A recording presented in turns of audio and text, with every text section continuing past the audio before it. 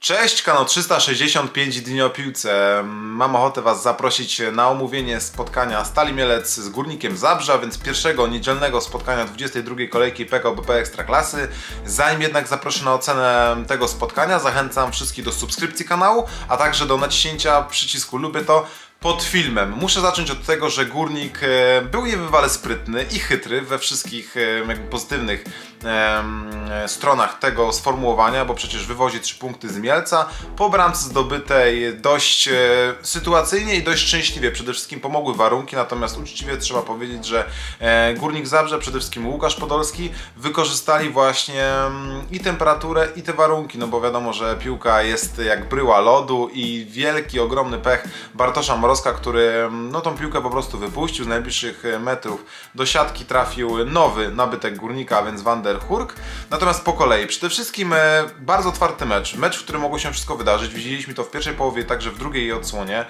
Piłka właściwie od jednego pola karnego do drugiego. Bałem się, że z uwagi na ciężkie warunki tego spotkania, czyli śnieg i deszcz, e, no ten mecz nie będzie do końca atrakcyjny, tak się nie stało. Wydaje mi się, że bardzo aktywna stal, stal, która wyglądała o niebo lepiej niż w tym meczu z Krakowią, przegranym zresztą w stolicy Małopolski. Tutaj bardzo był żywy Hinokio, który miał miejsce, żeby się rozpędzić. Wydaje mi się, że całkiem niezły występ Sapinena, wbrew pozorom, chyba nawet najlepszy dotąd w koszulce stali, natomiast e, nie przekładało się to na jakąś dużą liczbę sytuacji. Kontra Górnik. Górnik, który również nie miał problemu z kreowaniem, natomiast wydaje mi się, że brakowało wykończenia, brakowało ostatniego podania. Gol sytuacyjny, który został zdobyty w dość szczęśliwych okolicznościach, natomiast liczy się to co w sieci, no i oczywiście muszę odnieść się do końcówki meczu. W mojej opinii absolutnie bramka e, hiszpańskiego powinna zostać e, uznana. Ja tam faulu nie widziałem, wydaje mi się, że to była zwykła walka o piłkę.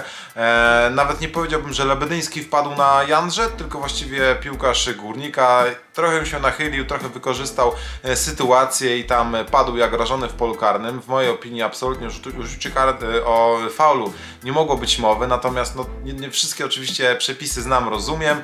E, na kanale też nie staram się wypowiadać o kontrowersjach sędziowskich, ale w mojej opinii po prostu Stal została okradziona z bramki.